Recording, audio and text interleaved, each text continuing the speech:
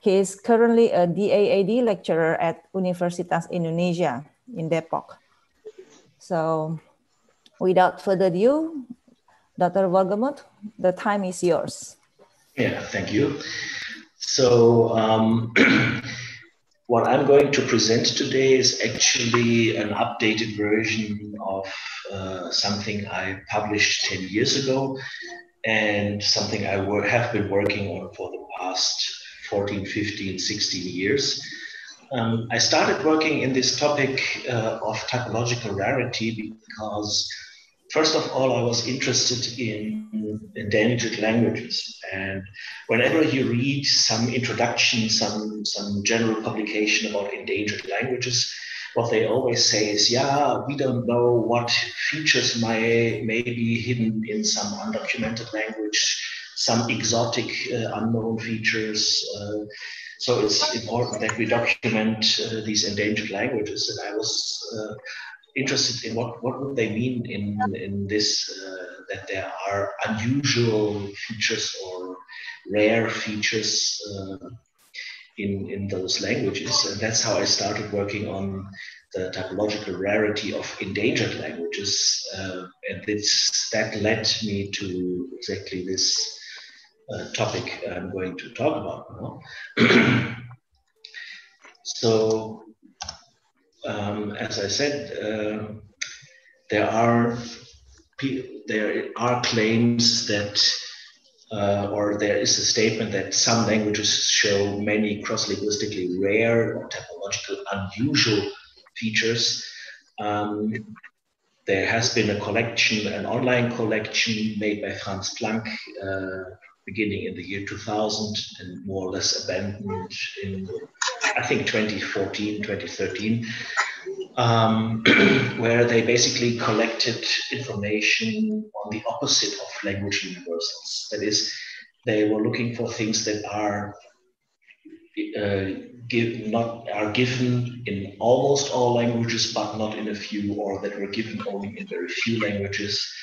Um, so as to have a documentation on whether linguistic universals really are universals. Um, from that, you come to uh, the you come to the notion of linguistic rarity or unusualness, or however you want to call it.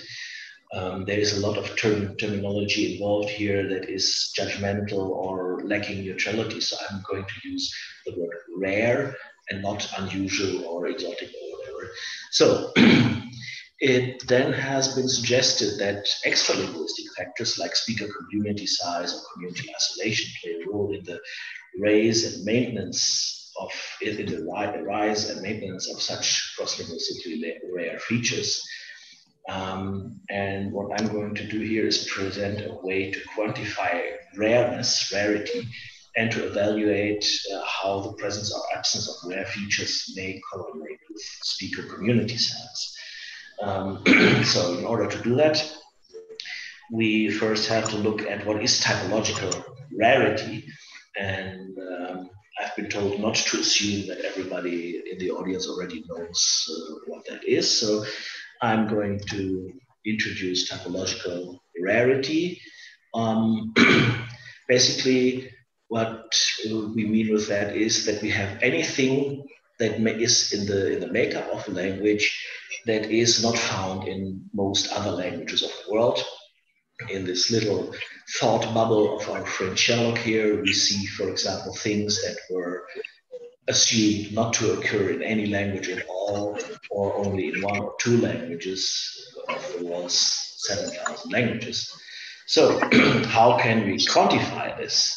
Um, that's exactly where my time in Leipzig uh, comes into play because in Leipzig uh, they published the World Atlas of Language Structures, which I will call WALS from now on. Um, someone has a lot of background noise there. Um, so uh, in Leipzig, they published the World Atlas of Language Structures in 2005. And this, first of all, was a book publication. Uh, it contains 142 maps or chapters Uh, and each of these maps features between 35 and roughly 1,300 languages. Um, they tried to have at least 120 uh, languages in the so-called core sample, which is these 120 should occur on all maps. Of course, not on the three maps on, on sign languages and on the maps on writing systems. Uh, anyway, it, all in all, the WALS features about 2,560 languages. And for these languages, they are coding for features and feature values, which together I call characteristics. So feature is something like basic word order in a, in a, in a sentence. Yeah, that is the feature. And the feature value could be something like SOV, subject, object, verb, or SVO, subject, verb, object, and so on. So for any given feature, you have at least two different values, otherwise the distinction would be pointless. Um, for some features, you only have binary distinctions. For some features, you have 13, 14, 15 different values. And these combinations of features and feature values uh, will be called characteristics here. Um, this WALS is based uh, on a database, and this database has been converted into an online uh, database and an online uh, site where people can use the World Atlas of Language Structures and add correct information. You see the URL uh, on the slide. Um, and just to give you a, brief, uh, small uh, impression how this looks like, this is one example map. Um, the picture is taken from the from the press release back then when the book was published. Um, so it's not exactly the map like it is in the book almost. And you see here a map of 1,105 languages um, with the feature, order of genitive and noun. And the feature values are genitive noun, noun genitive, and no dominant order. And you see that there is a distribution, like there's 600 languages having genitive noun, 400 languages having noun genitive, and only 82 languages having no dominant order. So that already shows us that uh, linguistically typological features are not necessarily distributed evenly over the languages of the world. Here we have one or two features that are quite common, and we have fe feature values uh, or characteristics that are not so common. and that's where we come to typological rarity. There are a lot of terms here that have been floating around in the internet and in publications since about 2000. And I'm going to talk here about uh, rara, rarissima, unicalia, only to introduce the terms, and I use rara as the cover term for all of them. Um, so basically, this all means that these are typologically rare features, uh, and we can have different kinds of rarity. Positive versus negative rarity. That means uh, positive rarity means the fact that one language has a characteristic as opposed to not having it is rare. That is, a language having the grapheme like German SZ, or a language having um, a sound like the like the Czech r, r, uh, having this is rare, so this is a positive level. Uh, on the other hand, we can have things like negative rarity, that means a language not having a certain characteristic is rare. Uh, standard example for this is the notorious language Piraha uh, for not having, for example, singular plural distinction in pronouns uh, or not having numerals. That is negative rarity. You have you, your language does not have something, and that fact is make is rare. And we have absolute versus relative rarity. That is, something can be absolutely rare across all the languages of the world, um, across all languages of one sample, uh, as opposed to relative rarity, that is a feature or its absence uh, may be rare in one area as opposed to the rest of the world, or it may be present in one area and rare in the rest of the world. Uh, so this is absolute versus relative rarity, and this mostly goes with areas and sometimes with, uh, with language families or language genera. So our working definition, which I basically stole from, uh, from work by Daniela Frerich, is that rare should mean it's found in less than 5% of the languages. For, for the World Atlas of Language Structures, that means in less than 128 of the 2,650 languages. For the languages of the world, it means uh, it found uh, a characteristic is found in less than 350 of the world's 7,000 languages. So um, how does it look like? We have, we're having something like typological features and they are distributed. So the, the box you see here is the realm of possible human languages.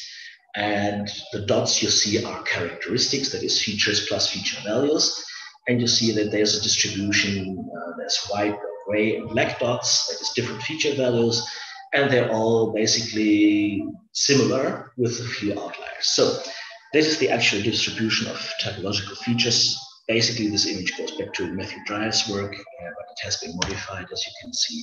So um, when we have rare features that are basically only found in very few languages, we call them rara, yeah, and they are found in only few languages of the world. We have relative rara that you can see here, like for example, with the different colors, you have some feature value that is not, not rare in the red family, yeah, the red languages on the left of, this, of the box.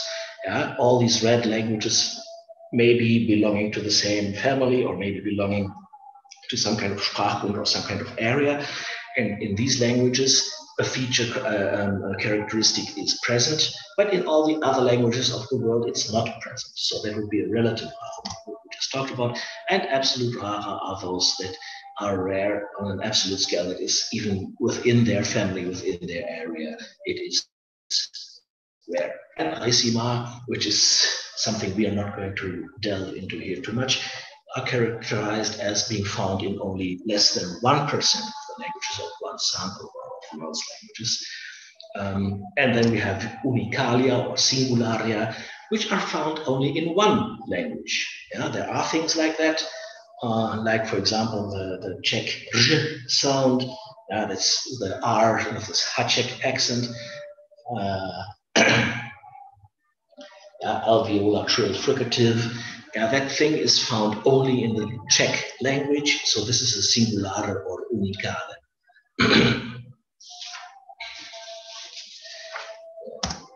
So how can we quantify all this? Uh, this is where work from my friend and colleague Michael Cysouw comes into play.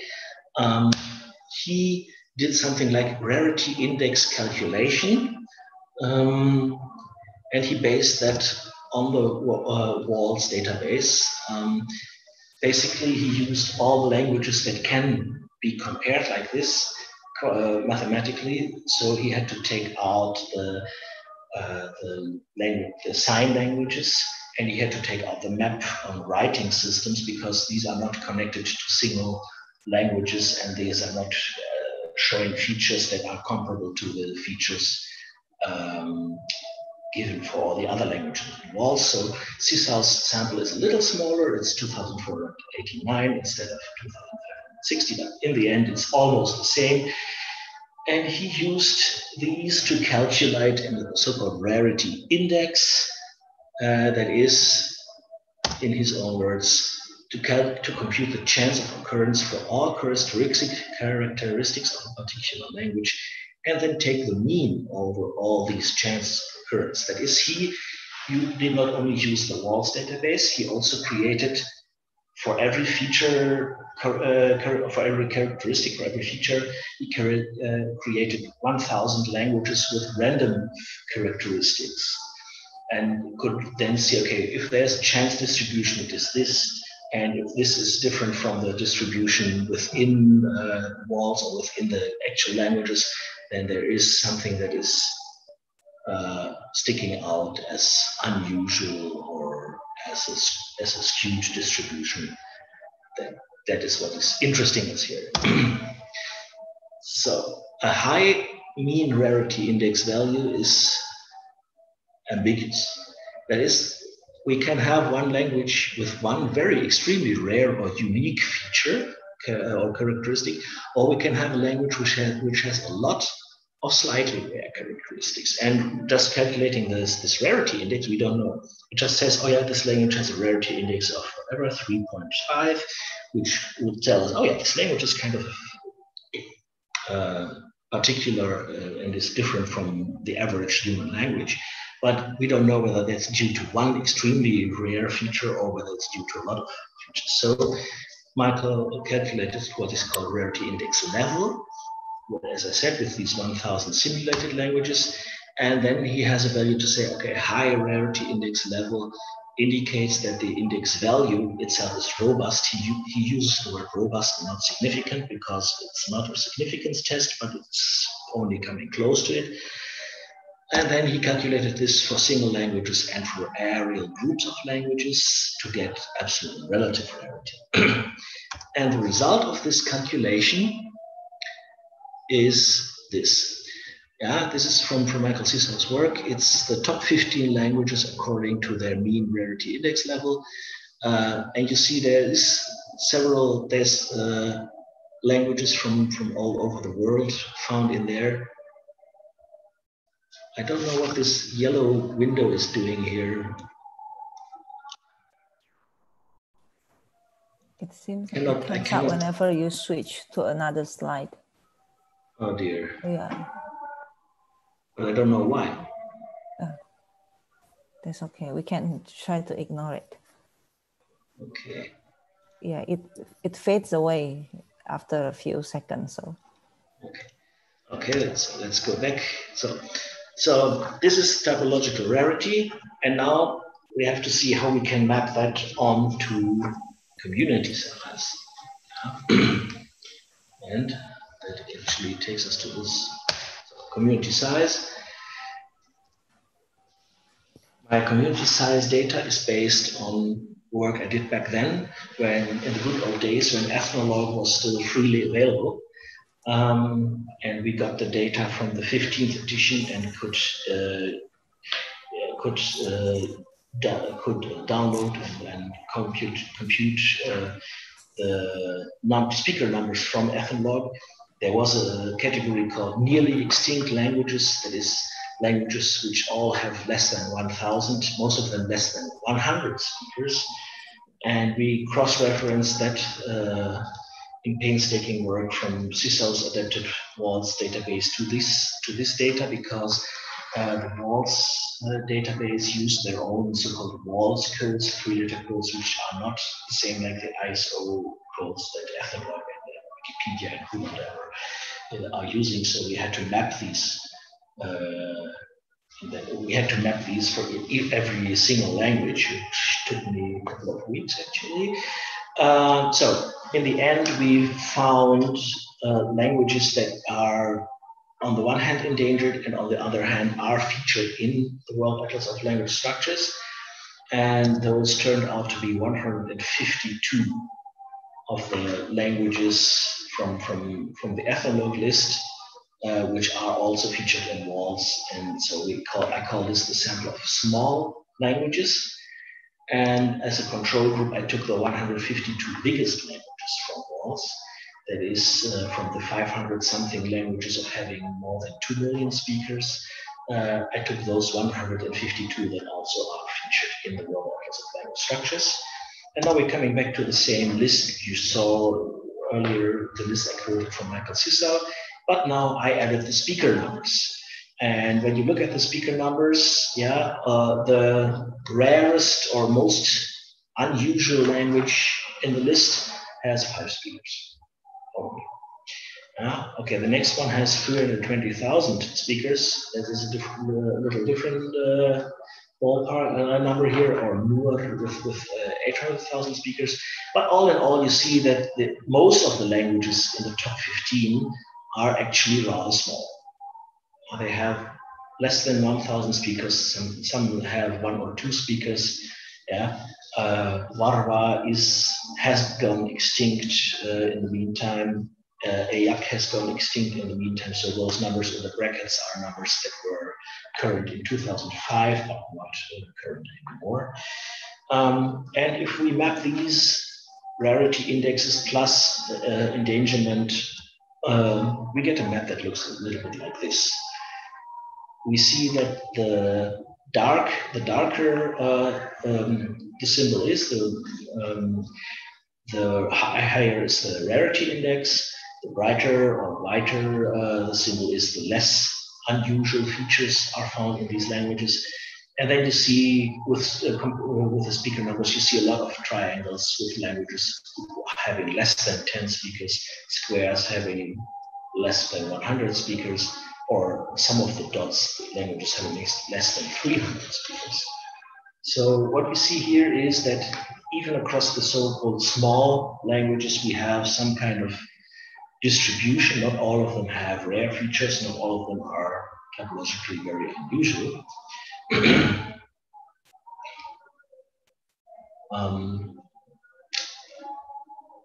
but if we look at it uh, less impressionistically from the map, but really use uh, the entire distribution, we find that over the, the entire sample of, of uh, WALS languages, we have a distribution which goes a little bit towards the normal or usual end. Is we have a lot of average languages, and we have some uh, less average languages sticking out at the other end of the rarity index level. So the higher on the rarity index level in percentage, the more uh, exotic or the more rare features are found in a given language. And this is the general distribution over the entire World Atlas of Language Structures. And this is the distribution only over the small languages. And you see a, a difference immediately. Um, you see the difference immediately. There is this clear distribution towards the higher end of the rarity index.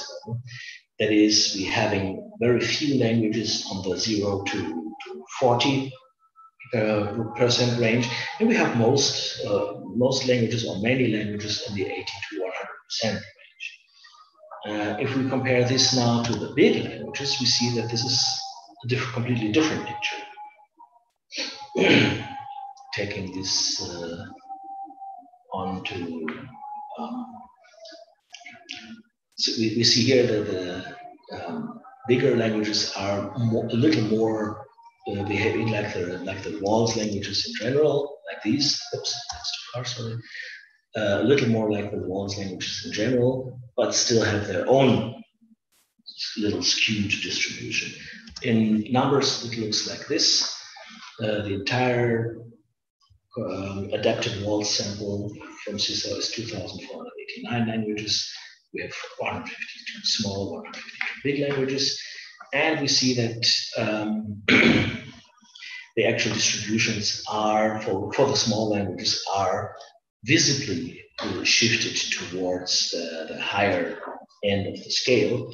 Uh, the first quartile for for for sorry, for, for the World Atlas of Language Structures in general, the distribution should by design be that the first quartile is exactly at 25, the median should exactly be at uh, 50, the third quartile should and is actually exactly at 75 and the maximum is uh, 100 and that's by design. Um, the fact, the, the question why this is a little skewed towards the lower end is something that uh, Michael Cysouw pointed out in his publication that he said uh, he doesn't have an explanation for it yet. Um, but what we do see is that the small languages really stick out. They are quite far from 25, 50% actually with their first and second quartile. So uh, the mean is also visibly shifted upwards to 61. Um, so this is really um, a different picture for those small languages. uh, this is how it looks like in the, box plots. Yeah, you can see that the small languages are quite far up on the mean rarity level, uh, mean rarity index level. That is, you find a lot of rare features in small languages in general. So to see whether this is in any form significant, uh, Michael did a t-test and the result was yes, compared to the WALS overall sample, the, the distribution of the small languages is indeed highly, very highly significant. Uh, so the difference is something that is a statistical signal. Uh, for the comparison between WALS and big language, there is no significant uh, difference, and for the difference between small and big languages, the significance was moderate, so we're not going to take that into consideration. Um, in the end, what I wrote uh, in 2010 is this result proves that the observable difference is truly significant. One cannot avoid the conclusion that the small languages of our sample actually do have more cross-linguistically rare features, or in other words, that there is a significantly higher likelihood to find small or endangered languages in the upper end of the rarity scale. Sounds nice, and this could be the end, uh, and I just say, oh yeah, that's it. Uh,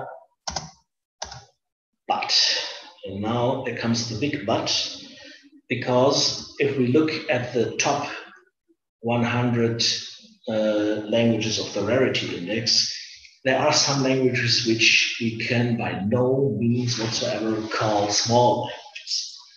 Uh, you see the top, some of the top 20 languages uh, made it into the top uh, 100 rarity index languages. Yeah, Mandarin, Chinese, German, or Standard High German, and Cantonese. and those count by the tens to hundreds of millions of almost 1 billion speakers for Mandarin. So those are by so those are not really small, but rather extremely big languages. And this fact needs to needs to be explained. If we want to generalize that rare features are found in small languages, then why do they also occur significantly and, and with a robust index level like 98% uh, in huge languages like these? Um, and English just barely did not make the cut for the, for the top 100 of the rarity index, but Frisian is in there.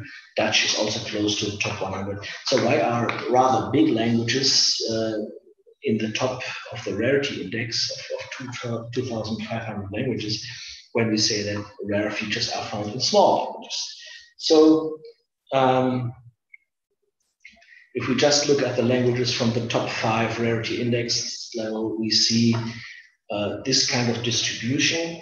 Uh, this is the absolute rarity calculated. Uh, that is only individual languages with a very high top five uh, rarity index level. Yeah, and we see, for example, we see German and Frisian marked there. We also um, see some some uh, clusters already. We see that there's a cluster in the Caucasus. We see that there's a cluster in southern China. We see the cluster in New Guinea. Uh, and these all uh, turn out to be even more interesting when we look at the relative rarity. That is, we see that in some areas we do have a cluster of, of rare languages uh, as opposed to, to the rest of the world. So the question is, can we also find, when we, if we find big languages at the top end of the rarity index, do we also find small languages at the bottom with the, uh, of the rarity index? That is, languages which do not have rare or cross-linguistically rare features at all. And as a matter of fact, we do. So this is uh, the opposite end of the list. I cannot show you all 2,400. That would be quite a huge slide and would take weeks to comment. So I just show you the bottom 15. And if you look at the speaker numbers, okay, we have one language with uh, 2 million speakers, another with almost 2 million speakers, but we also have some small languages. Um, one of them the, needs a little explanation. The number from Cornish is in brackets because actually it has been extinct or considered extinct and been revitalized. So whether you want to count that speaker number or not is probably up to your own taste and interpretation. Uh, but you see that also in the top, in the bottom uh, 15, there are some endangered languages, like for example, Mon with 200 speakers only. So um, we have to say that uh, we find small languages in both ends actually. So in general, we can say small language sample has a higher occurrence of rara, so there is a higher likelihood find rara in small languages, but rara are also found in big languages, so we cannot just generalize that rara are only found in small languages. And we have some un unusual small languages, languages that lack any rare features. Um, um, so not all small languages necessarily contain. We cannot just generalize that community size is the one reason why languages evolve or maintain cross-linguistically rare features. So the question is how and where and why and who and so on. Uh, how does it happen? So how exactly do community size and typological rarity relate? Well, actually, we have three possibilities how these things can relate. There can be a correlation, be it a weak or indirect one or a strong one, and then we need to ask in which direction. That is, does community size influence the typological profile or does the pro typological profile influence community size? Um, or it could be co-variation, that is both community size and typological rarity both depend on a third factor, and then the question would of course be which. Um, and one very unpleasant idea is that this is entirely artifact, uh, result of chance, sampling artifact, historical coincidence, uh, so that in the end uh, we don't really have something to talk about, but it's just result of chance development. That's just how the languages of the world are right now. Um, this, this would, of course, be quite uh, unpleasant because basically that means that we don't have anything we can generalize. And typologists, always want to generalize and make predictions. And if it's just chance or something artifacts, we can do So let's let's get over with this unpleasant uh, chance idea for for uh, quickly. Of course, um, sampling or data availability may play a role. Um, only one of the endangered languages of Africa, for example, uh, as they are listed in, in, in, the ethnologue, is also featured in WALS. That's Principense. Uh, that's the language she found uh, just off the coast of uh, Africa. Uh, there's a little triangle you see. Uh, that's this language. So all the other languages in WALS are either too small for the big language sample, about more than 2 million speakers, or they are too big for the small language sample of less than 1,000 speakers. So that's uh, that's how the WALS data is based because the World Atlas of Language Structures basically can could they could only take uh, published data that was available in 2005. That is only they could only take those grammatical features, those information from languages uh, where they had publications, and that leads us to the second uh, thing that may be playing a role in coincidence and sampling um, scholarly papers on small languages tend to discuss and emphasize cross-linguistic peculiarities for various reasons. Uh, one of them is that no typologist uh, would ever write or get published a paper like, oh, another language just like English.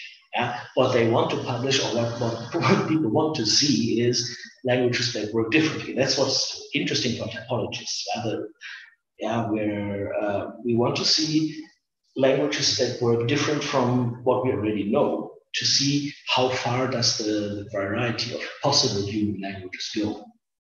Yeah? So actually, this this uh, this entire uh, set might be a little skewed because the papers available would emphasize those features or those characteristics that are typologically outliers.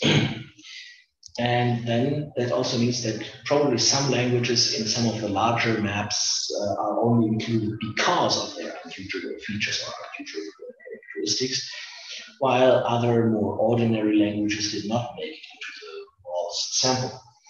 Yeah, so for example, if you have uh, a map or a chapter on phoneme inventories, of course, there would be a lot of languages with rare phonemes, with uh, big phoneme inventories of more than 100 phonemes or more. Of course, those languages would be included with these feature values, but the fact that, for example, they have uh, the very average uh, basic word order or something will might perhaps not be coded in ROS. So that makes languages sometimes appear you know, more rare or more unusual than they actually are. But as a, as a matter of fact, this is controlled for by the rarity index, uh, rarity index level calculations, because we have this computation over um, these simulated languages. So let's get, let's do away with coincidence and think whether there are other factors that might. So when, as I said in the beginning, I started working on endangered languages first, and then got got all these papers and books uh, mentioning, oh yeah, um, endangered languages contain uh, rare, unusual linguistic features. That's why we need to protect and uh, document them and so on. So what we what we can probably safely assume is that being endangered does not by and in itself cause a language to develop. Uh, or an endangered language will not just suddenly develop some unusual characteristic, it would not develop otherwise. Conversely, it may rather lead to the loss of, of uh, rare features due to assimilative pressure. That is um, something I, I, wrote on in, in 2005 too, uh, that sometimes not the entire language is endangered, but maybe one subsystem is endangered um, so actually, typologically unusual characteristics themselves can be endangered, even in otherwise vital languages. A good example for this is numeral systems, or naming systems, or writing systems. Yeah, just imagine, or just think of uh, writing systems that get are getting uh, are being abandoned uh, because of global assimilative pressure. Yeah, like all those uh, native writing systems, all these old writing systems in Indonesia.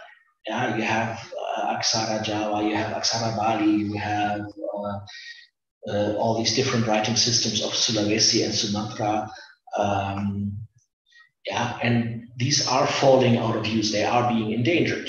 Yeah, because in everyday use, people will use the Latin alphabet. So the languages themselves may not be endangered, but they're rare features.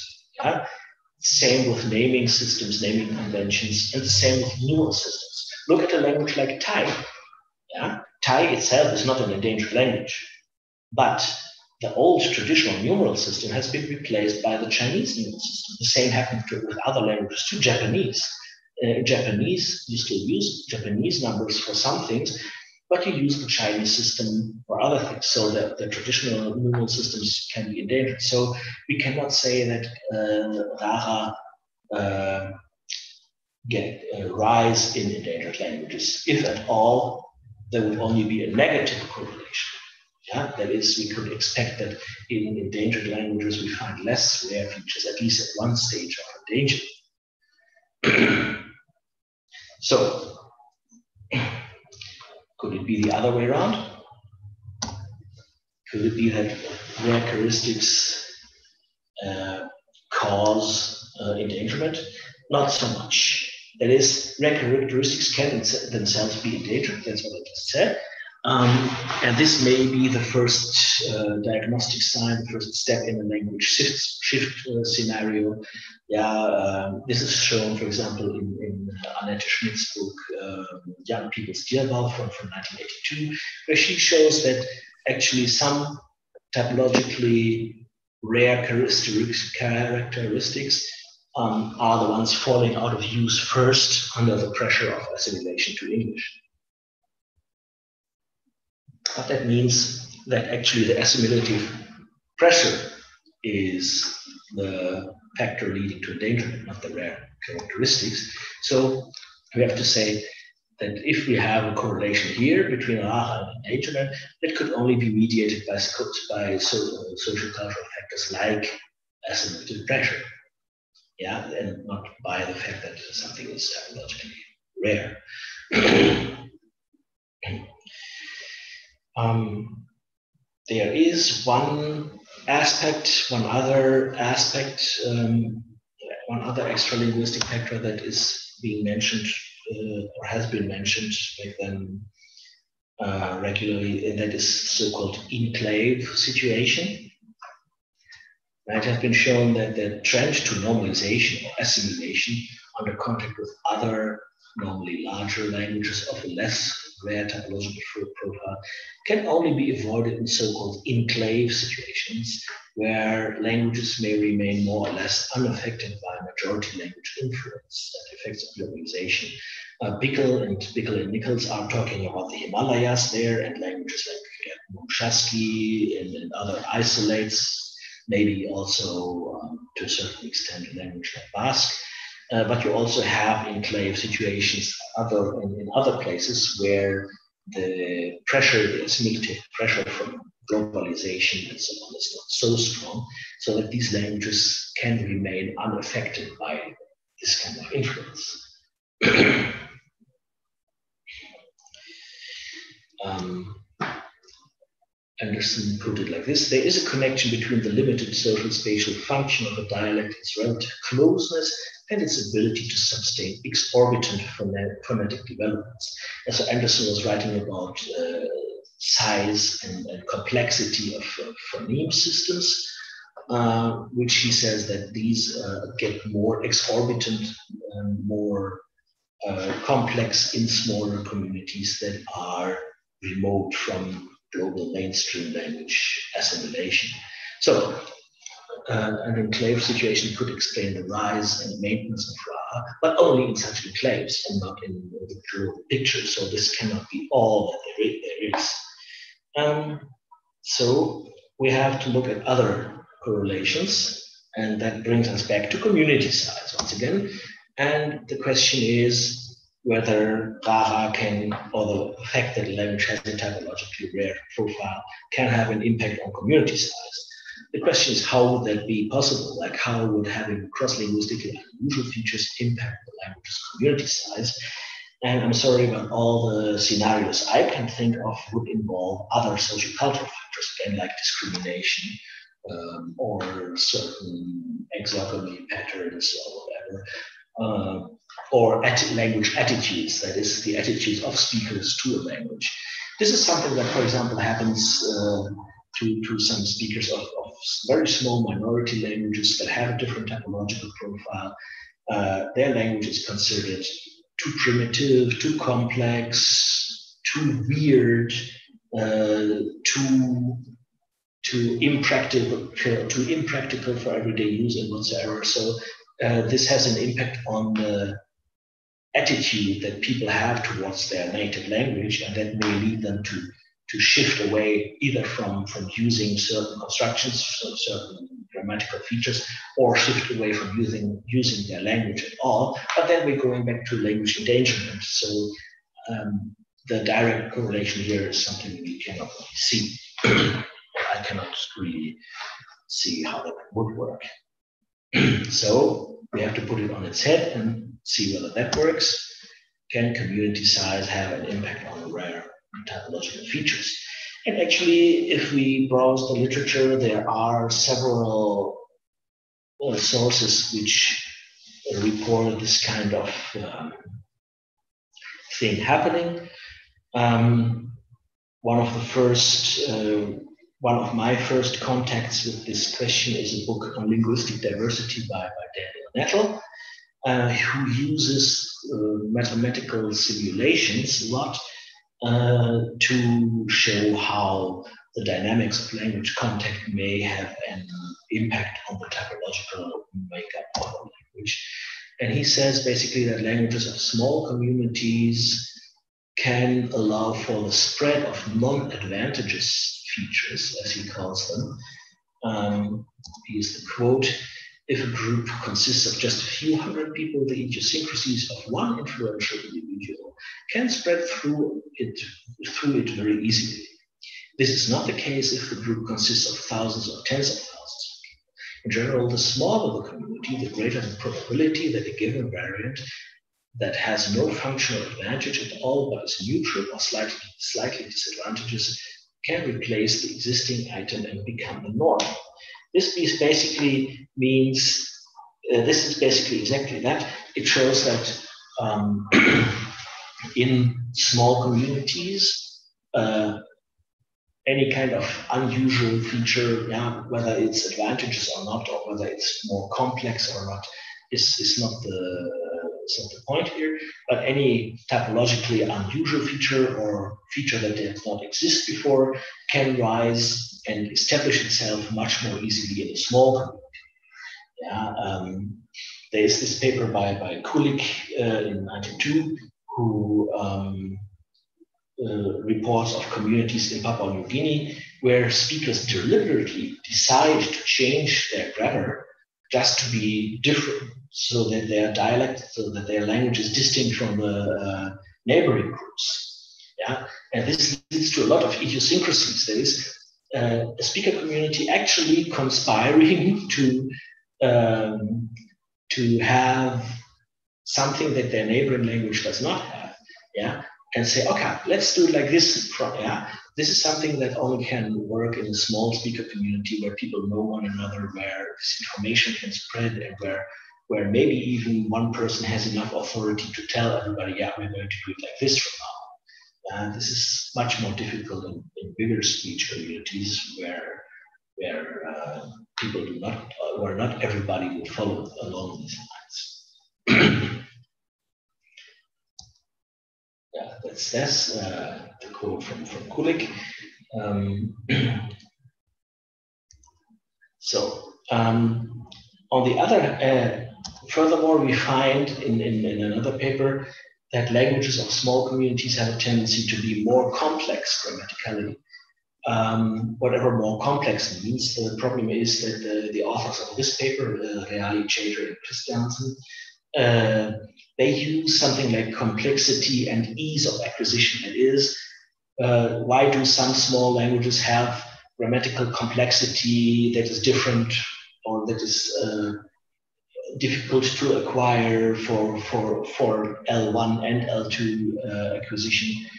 Um, so basically, what they what they're dealing with here is complexity, but in general, linguistic rarity does not mean necessarily mean it's more complex. It's just different from the average of the world's languages.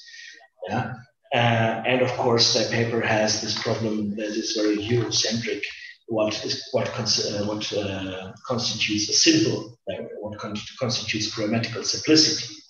Uh, is it simpler to have uh, only uh, two tenses, two verbal tenses? Is it simpler to have lexical expressions for it? So they don't really quantify some, uh, complexity in, in, in, a satisfying way that is not kind of Eurocentric. But no, nevertheless, they do a lot of statistics and they say that languages with many speakers tend to be structurally simple, while small communities sometimes develop languages with great structural complexity. Uh, and then they say that paradoxically it's the inverse with uh, lexicon uh, with the lexicon size. Um, and it seems that this inverse pattern can depend on a single factor, ease of diffusion through the population. And it's basically trivial to say that, of course, uh, anything can diffuse faster through a small population than it can diffuse through a big population.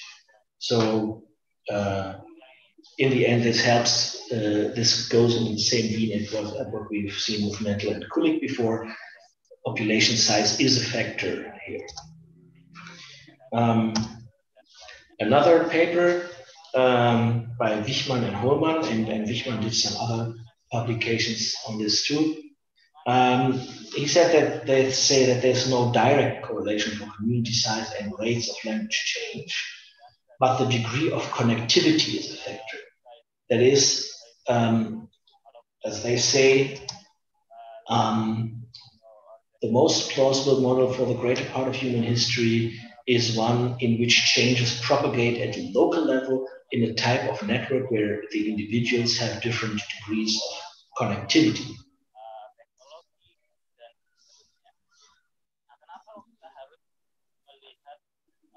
So what this means is uh, that the individuals know one another. Yeah, they are in close contact with one another. And that is something that we do find a lot in small communities. Yeah. Um, so like that. Languages of small communities are more conservative. Languages, uh, larger languages tend to normalize. This is from, from Trudgill, quoting Milroy and Milroy. Uh, so language, linguistic change is slow to the extent that the relevant populations are well established and bound by strong ties, whereas it's rapid, rapid to the extent that weak ties exist in populations. Dense networks are most likely to be found in small, stable communities with few external contacts and a high degree of social cohesion. That means that um, languages, small languages, will have, which usually do have tightly knit communities do, on the one hand, uh, they are more conservative, that is, they preserve uh, their own profile much longer. Um, but on the other hand, they also allow for the, for the spread of, of uh, rare features.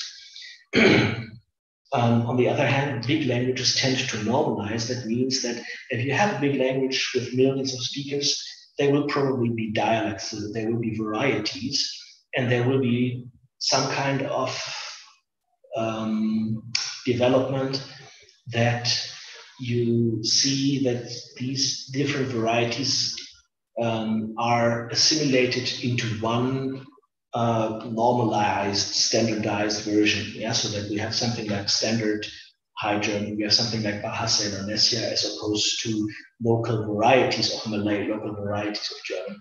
So that's what they mean here.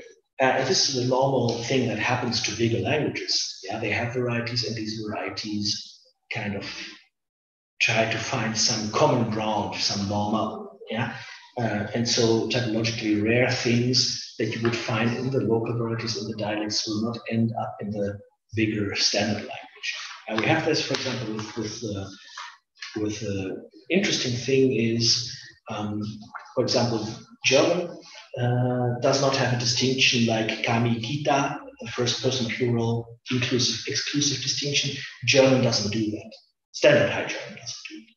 There are some dialects in the south uh, of, of the German language area where you do have or did have a distinction like that, but you only have it in the dialects, you don't have it in the normalized standardized language.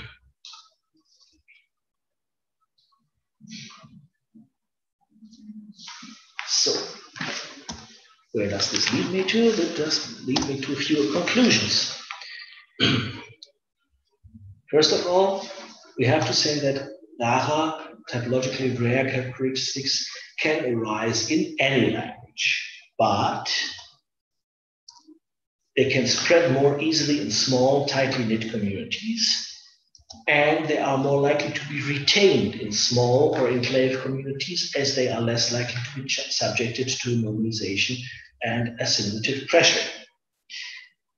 And they only survive in larger languages when they are not exposed to assimilative pressure. That is, when they are in contact with related languages that share the same typologically rare properties. This explains, for example, why, why we have some typologically rare properties in big languages like Chinese, Cantonese, German, English, Frisian, and so on. And that actually already leads me to the end, to questions and answers. So I'm a little too fast. I was five minutes too fast. I'm sorry. But that's where we are right now. Thank you for listening. Okay. Um, thank you, Dr. Wohlgemuth, for the interesting and fruitful presentation. Let me now open the question and answer session. Um, you can raise your hand or you can type your question in the chat room now. Um, we open for two questions first, and then we, we can see how uh, it goes. Um, okay. Yep. So any questions, comments?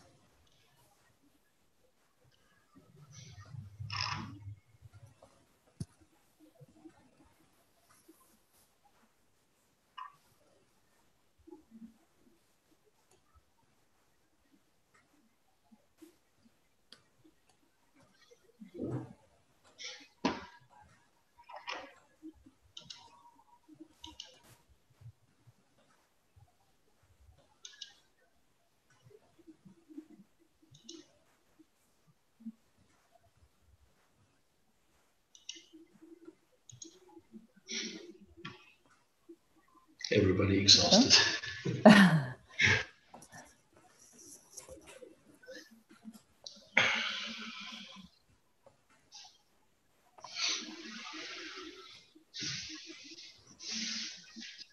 Hello. Um, yes. Yeah, um, may I ask something? Maria. Okay? Yeah, okay. Please, um, Maria Olga. Um, yeah, Maria Olga Jalimut. Jalimut, okay. Oh, okay. Where are you from? Yeah.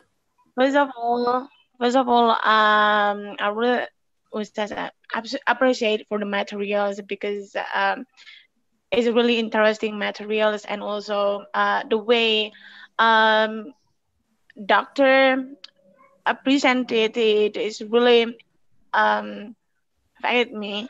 And then actually I have a not actually questions uh, because I, I'm really I really want to uh, analyze relates to the extralinguistics rarity. Um, what about when we are in a small uh, small community? and in a small community and then we are communicating with um, with them and we are coming from the same cultures and uh, we just find like a small rarity there so my question is uh, what can we analyze when we are um, in, uh, was that interacting in a same community, a same community, and then the same cultures. What what kind of um, uh, rarity that that is really interesting to be analyzed. Thank you. Well, from from inside the language, you usually don't see typological rarity. That is, you can only see it in the in the comparison to other languages. That is, most speakers uh, of a language having some kind of rare characteristic are not aware of it unless it's really in your eyes. Like uh, in German, we have one letter called SZ, which is a historically it's a ligature of two letters, but we treat it as one letter, and it's only occurs in standard German orthography. You don't have it in Swiss German either, uh, and you don't have it in any other language. So of course that is something that is in your eyes because you, as soon as you see a German computer keyboard, you see that letter there that's not there otherwise. So that's when you are aware of it.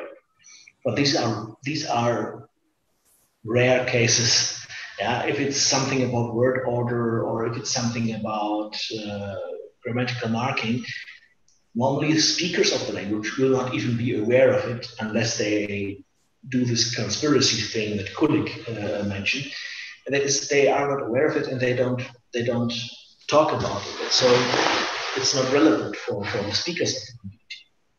It's something that, for example, the assimilation and everything that happens in context situation. That is, if a language is exposed to some majority language, to some colonial language, which is not the majority but has more, more power, uh, then these languages are in a contrast. And that means that the speakers of these languages um,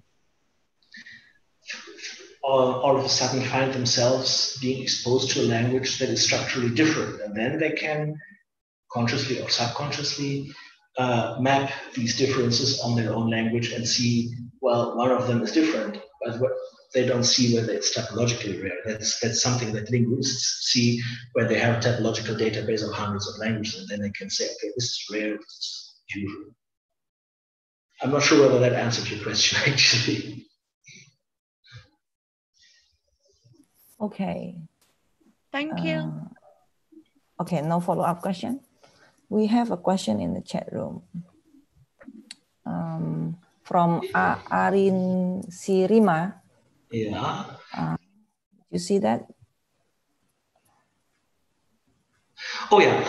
Um, which aspect of rarity uh, I compare? Actually, the World Atlas of Language Structure um, compares all of these. It has chapters on phonetics, phonology, that is phonetics like having certain sounds, certain types of sounds, or not having certain types of sounds, phonology, having big or small phoneme inventories, lacking nasals, or having a long, uh, having lots of, of, of, labial sounds or so It has chapters on morphology, um, on whether language is prefixing, suffixing, whether it has affixes at all.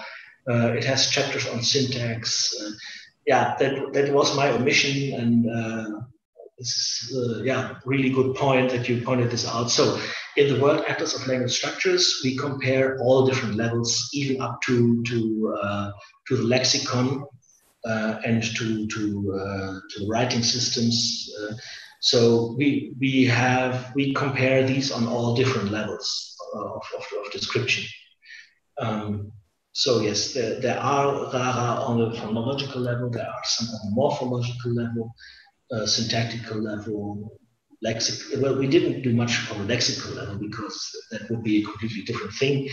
Um, but for all different layers of grammar, um, there are there can be RARA all of them. like a, uh, a, morphological thing is, for example, um, that most languages do have a clusivity distinction, first person's plural, yeah, the, the kami kita thing. Um, I'm so glad that I don't have to explain this. Normally, my audience would be Europeans who don't have this distinction. So, but, but here with, with, with the Indonesian crowd, I just can say, yeah, you know, kami kita thing, and you know what I mean. Uh, languages of Europe don't have that, and that makes a negative rarum. Yeah, that is in Europe, in most European languages, you don't have this distinction. It's common in Europe not to have it, but it's uncommon globally uh, not to have it, and that's a morphological on the morphological level.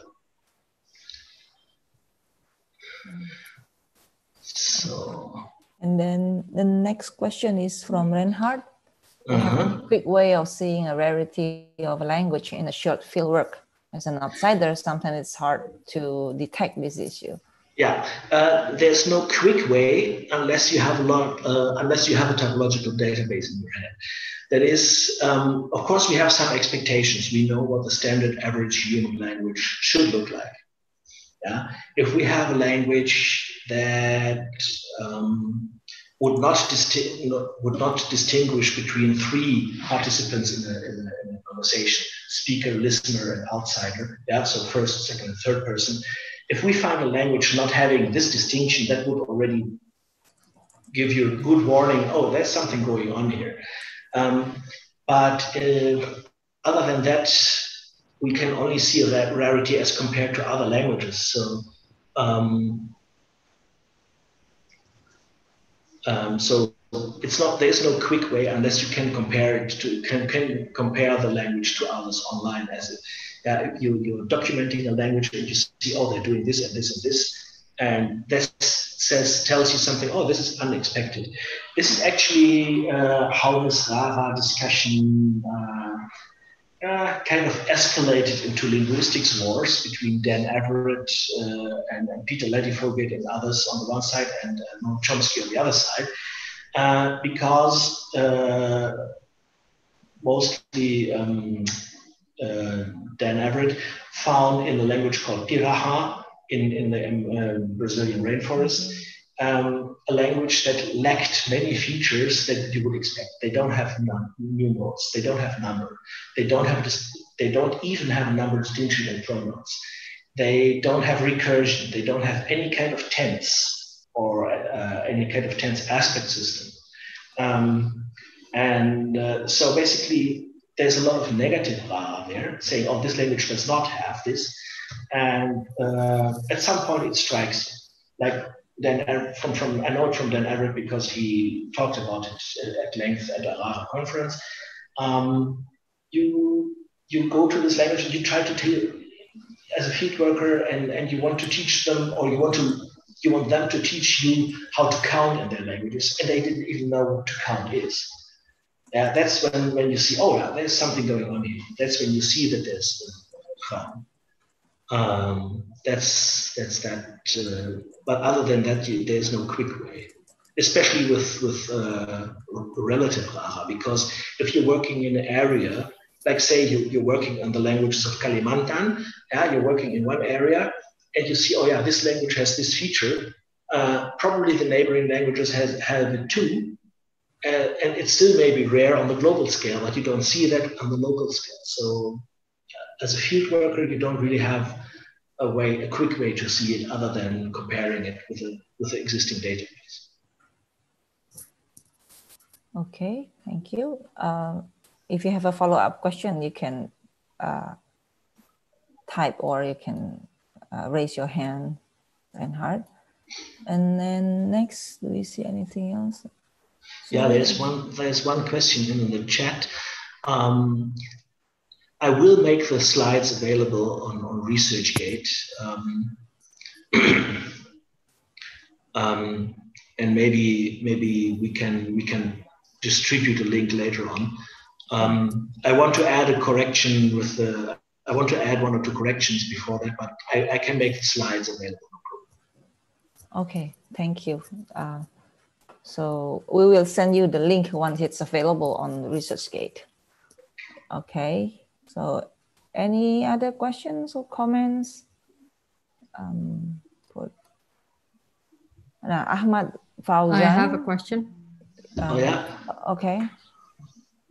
Um, maybe we should, um, since I started this, Ahmad mm. Fauzan's question, and then after that, uh, um, how much, uh, so how, how significant is it to identify the extra linguistic factors in the development of typological rarity? Well, you see, typ typologists um, or this this um, entire uh, work on linguistic rarity is is uh, in some to some extent an act of rebellion. In the 1940s to 60s, people started looking for universals. It started in anthropology and then it spilled over to linguistics and people were looking for universals because they wanted to know oh yeah if we find things that are universal to all human language we learn something about the human mind. Yeah we learn how how human mind how human brains do language. And uh, actually a few colleagues and i started this rebellion and, and said no actually we learn much more about human cognition if we look at the other not what all languages do, but we, we look at what only some languages do, because that is the variation. That is what where where we actually extend the frame of possible human language. I guess you remember these squares in, in, the beginning. Yeah, the, the line of the of the squares is possible human language. So if we find something that is uh, rare, unexpected, uh, that extends our knowledge of what to expect in, in possible human or possible languages at all. And as soon as we see these things, we want to know how come? Why do we have a universal? And in, in the 1960s, people believed that, oh, yeah, there are universals like every language has a three person, two number distinction, at least in pronouns, uh, until we found languages not having this distinction. And so we need to explain how come they, they don't have this. Uh, distinction. Um, there is, for example, there has been a universal saying that all languages have bilabial sounds uh, until they found some languages that don't have bilabial sounds. And the only explanation for those is that there are people who like to pierce their lower lips.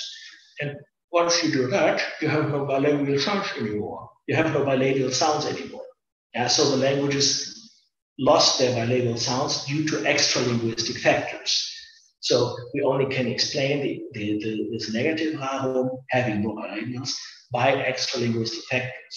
And so that's why it's interesting. And actually, it's it's uh, interesting not only for typology, but also in general for, for knowing about social linguistics, knowing about language change, that we take into account extra linguistic factors. And this is rather new. That is, 20 years ago, people did not so much talk about it, or when they did, they did just talk about it in one paragraph and that's it. Um, and now we see that we cannot explain language change or uh, language evolution only by looking at language without looking at the, at the factors around, like community, setting, geography, and all these things. So that's why it's important or significant that we have um, that we have a look at extra linguistic factors. Um, actually, um, we had we had this RARA conference in, in 2006, and in the same year we had a conference on languages of hunter-gatherer communities. And the conference papers from that conference were finally published a few weeks ago uh, by Güldemann and others, uh, languages of hunter-gatherers.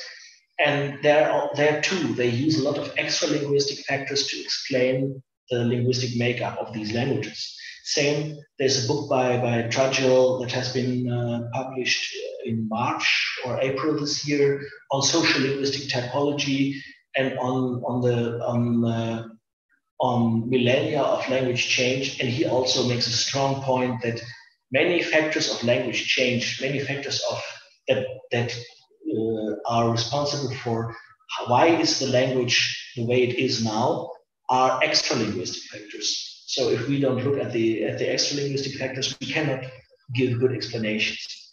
Yeah, this is in stark contrast to to uh, 19th century linguistics, historic linguistics, where people only looked at language change, language internally. That is, oh, we have our sound changes and we have our sound laws and we have erosion and, and all these things and de-grammaticalization, grammaticalization, and all these things that go on in the language, okay? But as soon as you want to know why, uh, you have to look at extra linguistic factors too.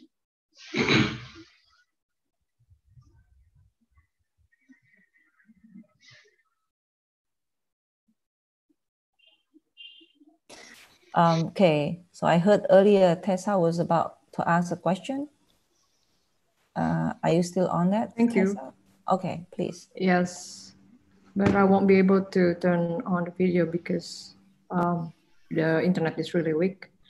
Um, yeah, I wonder what will you say about the Indonesian context with um, using this uh, theory of development type of, type of linguistic to, uh, rarity. What do you think the condition of Indonesian languages in the future? Well, um, basically the situation for, for most of the, let's call them regional uh, Indonesian languages is the same like it is in, in most parts of the world where you, where you have a lot of regional languages which are exposed to pressure from a national language or from national languages, uh, plus globalization pressure from English. Yeah? So, like Bahasa Indonesia, for example, is kind of sandwiched in the pressure. Yeah? It gets pressure from English, yeah, globalization pressure from yeah, assimilative pressure from English, but it also Bahasa Indonesia exerts pressure on the local languages. Uh, and so people are exposed to this. And of course, whenever people are exposed to a majority language, there is a chance that they will subconsciously change their linguistic profile, that they will assimilate things. Um, one example from, from, from, from a paper uh, in the, on the endangered Haha is um, naming systems. If, if a country says uh, people have to have a certain kind of name, yeah, and some, some names are valid and some names are invalid, and some, some guy, some person in some office somewhere decides whether parents can name their child this or not, um, then you have direct influence on the system uh, of these languages. And one example is that um, I don't remember the name of the language right now, but it's a language from Kalimantan, where naming is called uh, is a, a teknonymic pattern. That is, some uh, you know these things like where you where you name people like their parent after their parents and uh, people get their name from their parents. But there are cultures uh, where people get their name after their first child. So when you become a parent you are given a new name like father of or mother of. And so you will have to change your name. And most authorities, be it in Indonesia, be it in the Philippines, be it in South Africa, don't allow for that officially. So you're not allowed to do that. So you keep your name. And there you have conflict. There you have something where the where the social linguistic or extra linguistic setting does not allow for something from within the language to to uh, to be there. Um, Other than that, uh, it very much depends on how much the regional languages are exposed to other languages. If we have enclave situations where people in their daily lives are not exposed to Bahasa to English, then their languages will probably change in a different way and in a different pace uh, than from, from being exposed to majority languages. Okay. Okay. Thank you. Is that clear? You have a follow-up question, Tessa, or comment? No? Okay, now there's another question. In other words, extra-linguistic factor is significant to analyze the issues in phonology, such as the change in bilabial, so that it can explain why people have different accents and dialects, especially using typological approach. Is that so? Quick answer, yes. So you with with this we can at least have one model, not the model, not the only model, but one explanation why languages, some languages are the way they are. And for some languages, we have to look at extra linguistic factors to explain their typological uh, makeup, whether it's phonological, morphological, onomastic, uh, that's uh, um, that's that's uh, secondary here. But yes, uh, we can use extra these extra linguistic factors to explain some of the features or characteristics of languages. Yes. And the next question is from Anna Beatrice Nunes. Thank you very much. Um, I have a question. Do you think assimilative pressure would affect all layers of grammar equally? For example, wouldn't it be more likely for a rare phenomenon, phoneme of a minority language to be stigmatized than a rare constitu constituent order or other less salient features? Oh, um, about the rare constituent orders, um, there's so many memes going on. Um, people making fun of the way, like for example, Yoda in, in Star Wars talks. Your father, he is, yeah, OSV. Uh, that is a very marked uh, basic order, and it will be it's visible, immediately visible. Uh, it's very salient. Um, and of course, this could be stigmatized. Um, yeah, and people using the wrong word order will probably be called out or be stigmatized at some points. Um, so yes, um, uh, there, this assimilative pressure is of course more visible in salient features. But then there, again, there's, there's, uh, there's another extra linguistic factor, and that is speaker attitude. If the speaker community is very strong minded and they say, no, we don't want that. They will maintain things even under pressure. Yeah. Um, and if they, on the other hand, either they are not so strong minded or the pressure is so strong uh, that they will give in, then some features will disappear more quickly. Um, I'm, coming from the field of loanword research, and uh, there we could see that uh, the speaker attitude makes a lot of difference. That is, some, some speech communities just decide we don't do loan words. They just don't do it. They don't borrow words. Yeah. And that, of course, has an impact on the language. So they have to create words for, for cultural artifacts that are brought to them and, and things they didn't see before. But they don't borrow the words. And other languages borrow, are very happy to borrow. Yeah. German or, or Bahasa Indonesia are very happy to take English words and, and uh, make, make wonderful things with these borrowed words. Um, yeah, so speaker attitude is, a, is, a, is another factor which I cannot talk about now. That would be a different talk. Um, so the, the stigmatization and all this uh, can affect all layers, whether you see it or not. I'm not sure whether that really satisfied your question. uh, would it be more likely? Um, I, I don't want to go so far as to say what would be more likely uh, because I don't have the data for that. Uh, probably uh, has some data for that. So if you're interested in that, you should look at Trudgill's most recent book. The, the, um, it's in, re- the references section of the slides, which you can download later. Um, so yeah, that would be that would be something that probably other people um, um, know more about whether it's more likely. Um, I only looked at the fact whether it's uh, more likely to, to develop in a language, not whether it's more likely to disappear or stigmatize. But yes, in general, everything like that can, can happen. Okay, the next question is from Josephina. the development of technology makes people all around the world learn English every day to be able to deal with it. Mm-hmm. They tend or prefer to acquire and use English in everyday everyday life rather than using their own language. Realizing to this fact, do you think about what do you think about the existence of other languages in the world? What is your suggestion for the speakers of the languages in the world to maintain their language? Oh, oh, that would be a lovely topic for another completely talk. For another talk. Uh, um, in brief, um, I think it's about time that um, we get, uh, and we will pro- most probably um, get away from the uh, absolute hegemony of English. If you compare it uh, in the beginning of the 1990s, almost 100%, well, in the beginning, of course, 100% of the internet was English because it started in the United States between two or three universities only, and that was all English. In the mid 1990s, and ever since, the, the percentage of English ever decreased. So right now you find a lot of things in the internet in other languages. Yeah.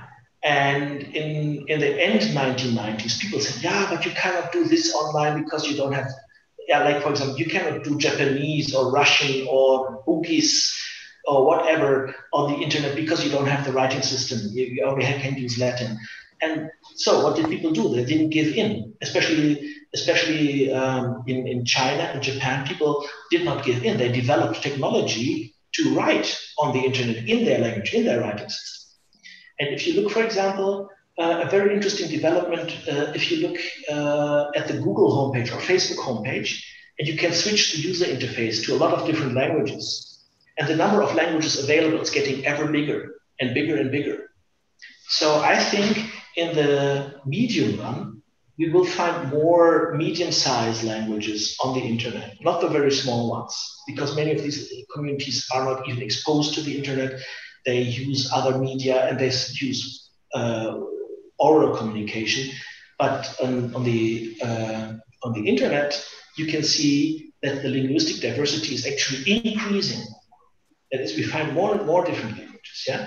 When when Google Translate started, they had English and four, five, six other languages. Yeah. Just look at Google Translate now. They have Sundanese in there. They have Javanese in there, and I don't know how many other Indonesian languages. Yeah, I, I should have counted it, but you, you see that the that the development is going that way. That doesn't mean that the pressure is getting less. It's just that, that uh, language communities are working against this pressure. They're not accepting it anymore as, as, as if it was a natural given that English is the dominant language of the world. Uh, so people are working against it. So I hope that some speaker communities really have the the, the grids and, and, say, no, we want our language on the internet. We don't want to learn English to access the internet. We want the internet to learn our language. Um, and if, if a lot of speaker communities have this attitude, then we will see that on the, on the internet. Okay. Now, do you have any more questions? I, oh, no more. Does anyone still want to raise questions or maybe give comments or uh, something for discussion? Or any follow-up questions? No? One, two, three, done, no? Okay. Ah, wait, there's one. oh, there's one maintaining and preserving our own local languages is a challenge for us. Yes, indeed it is. Yes, indeed it is. And actually, there's a lot of things going underway. So, um, like for example, there is a lot being done on the documentation of the Bahasa Daerah and, and all the small communities. And um, I hope that most of these languages do survive. Um, there is this trend, and people say that by the end of this century, 50% or more of the human languages of linguistic diversity will be gone. Um, I hope that we can put something against it, and that is that, uh, especially as, as, speakers of the big languages like German, English, Bahasa Indonesia, we need to encourage people uh, to maintain their own language, yeah, and, and we have to give them opportunity to use these languages. Yeah, um, and then and only then uh, they can be they can have a chance to maintain that language. Uh, okay. One comment, can I?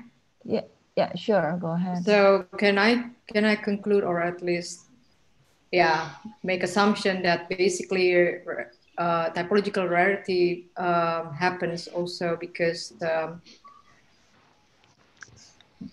happens by decision made by the community. I mean, subconsciously throughout the time, um, they decide they decide to okay, let's not make not not necessarily make uh, uh, sub, uh, not necessarily make um, conscious decision, but throughout the time they slowly drop this uh, linguistic feature, but add something else and something like this. Do you think um, that's the case? Definitely. I mean, all language change goes on like this. Speakers decide consciously or subconsciously what they want. That is actually, um, there is a contact, uh, um, a kind of conceptualization metaphor, if you wish, uh, that basically communication is like uh, like uh, evolution, and so every every act of communication is a chance for natural selection. That is, every time I choose a form, an utterance, a grammatical feature, whether I use it or not, I make a decision whether this form is fit, whether this form is adapted for my purposes. And if I use it, kind of I propagate its genes to the next generation. Yeah. And if you reuse the form too, then you propagate it to the next generation after that. So if, if you look at it like this, then yes, language change always is a conscious to subconscious decision whether you want to use certain things or not. Um, um, yeah, one one example from from Indonesian would be um, during the past 20, 30 years, um, you could notice that people use the numeral quantifiers less and less and less. So uh, things like se seorang, sebuah, seekor, sehelai, sepucuk, whatever, yeah, all these things, it's getting less and less. It's, it's a subconscious decision for most people. And in some cases, it's a conscious decision. So it's difficult to say whether it's only one thing or the other thing, but it's, this is something that's going on and it, sums, it adds up. So people see other people doing this or not doing this, and they copy it or not copy it. And that's a decision that is on the on the brink between conscious and subconscious. And that's how language change always propagates in a community. And of course, it propagates more quickly and more thoroughly in a small community. Because if you have like one or two influential people there and they do something, everybody copies it. That's much easier in a community of 200 or 100 people than in a community of 20 million. Okay, great. Thank you. Thank you. Um, Yep. So it's already 10:30, and we don't see any more questions anyway. So, uh, thank you again, Dr. Wohlgemuth. I would also like to thank all the participants for attending our event. Please kindly fill out the questionnaire. Uh, we have shared the link in the chat box. Um, that's a evaluation form so that we can evaluate our our event and then provide better service in the future. So before we end this uh, session, let us have a photo session. If um, so, please turn on your camera, your video, um, and then Sancho from our IT department will take our picture.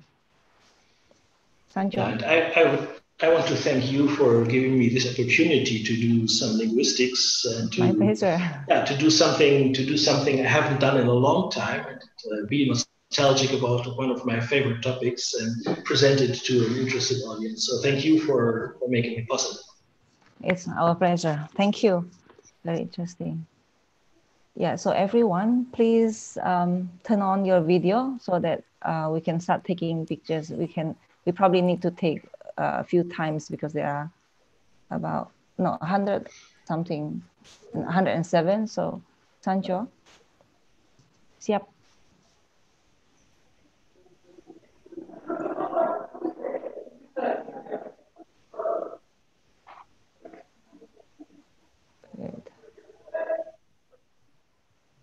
Jo? Wait let me check.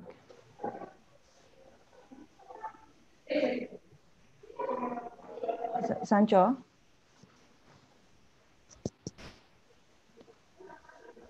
Iya Bu, iya Bu Ya, Yanti. to tolong kita foto ya.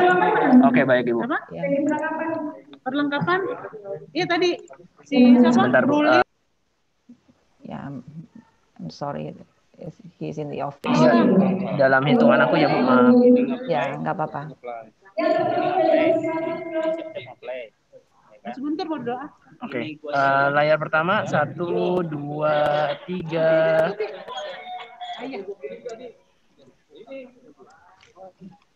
Oke, eh, untuk layar kedua masih ada beberapa yang belum menyalakan nggak apa-apa.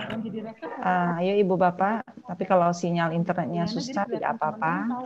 Masih ada Bu Mercia atau Pak Jeremy, ada Bu Laika, Bu Bernadette, Bu Regina. Ini ya kita oke. Langsung saja Jo. Langsung saja ya, baik Ya. kalau gitu. Eh, layar kedua satu dua tiga. Baik. Layar ketiga baik. Eh, satu dua tiga. Oke, layar keempat satu dua tiga. Layar kelima satu dua tiga. Baik, kalau gitu sudah Ibu sudah foto semua. Oke, baik. Terima kasih Sancho. Okay, thank you again everyone. Hope to see you in the future in our in our future events. Have a good day.